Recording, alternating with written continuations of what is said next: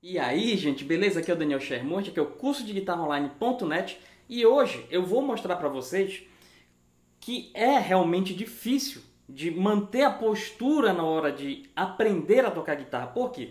Porque é um instrumento que ele foi feito para ser mantido em equilíbrio em relação ao corpo. Claro que aqui eu tô com uma guitarra para destro, né? No caso eu sou destro, mas eu inverti, tá legal? É possível, mas não é o ideal, tá legal?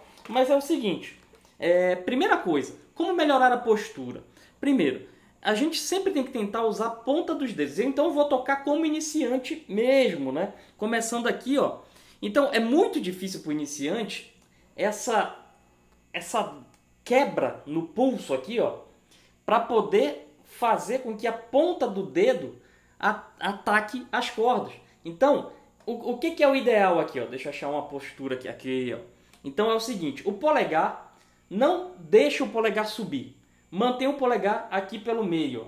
Então sempre aqui, ó. Então isso é essencial, tá legal? E aí, ó, força sempre aqui, ó, na mão esquerda, no caso, né? Na mão direita, para quem está começando como destro, é, mantém a palhetada alternada, para baixo, para cima, para baixo, para cima, tá legal? E segura do jeito correto. Isso eu ensino tudo no curso de guitarra online.net, tá legal? Aqui é só uma dica. Então, ó, tem que forçar a postura. Ó, tá vendo que tá saindo errado? Por quê? Eu tenho que forçar. Porque se eu começo errado, se eu começo tocando sem ser com a ponta do dedo, vai gerar um vício e vai gerar um problema. Então tem que escutar as notas saindo também. Ó, não saiu essa daqui, então volta.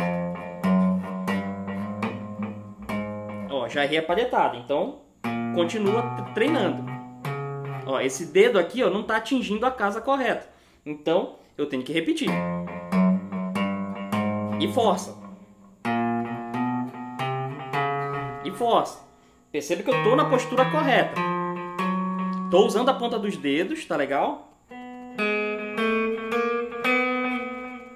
Para quem está começando é difícil de usar o metrônomo, então faz sem metrônomo mesmo.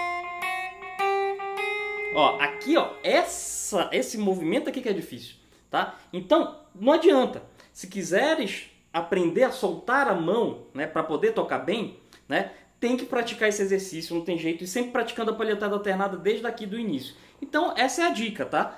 Usa a ponta do dedo, não deixa o dedo errar. Se não está saindo som, retorna de novo para poder fazer direitinho. Se quiser mais orientação sobre isso, eu tenho o curso de guitarraonline.net, o link está aqui na descrição para se inscrever. As inscrições estão abertas e sempre estarão abertas. Também tem o grupo aberto do WhatsApp aqui do canal, o link também está aqui na descrição. descrição.